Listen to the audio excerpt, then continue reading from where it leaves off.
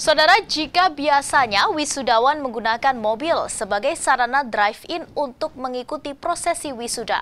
Namun ada seorang wisudawan yang justru naik becak bersama keluarganya untuk menghadiri prosesi wisuda di tengah pandemi COVID-19. Seperti apa? Berikut informasinya.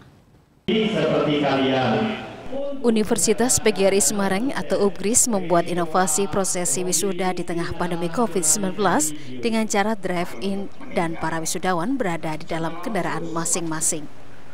Para wisudawan yang datang mengendarai berbagai kendaraan dari mobil, angkutan kota, mobil PMI, sepeda motor, hingga becak.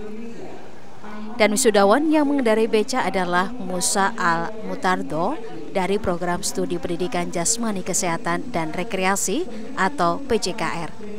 Warga Pati ini datang bersama ibunya yang duduk di dalam becak dan sengaja naik becak untuk menunjukkan dirinya sebagai anak desa namun bisa meraih pendidikan tinggi minder atau gimana mas?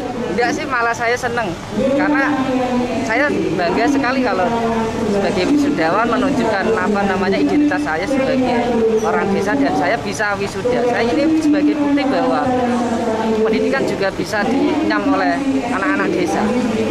Dari mana mas? Saya dari Pati, dari desa Gunung Manis. Meski dilakukan secara drive-in, prosesi wisuda tetap menerapkan protokol kesehatan COVID-19 secara ketat, yakni para wisudawan dan orang tua mengenakan masker dan tidak bersalaman.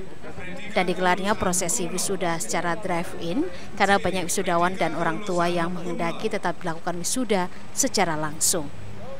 Senat Puji, Kompas TV, Semarang, Jawa Tengah.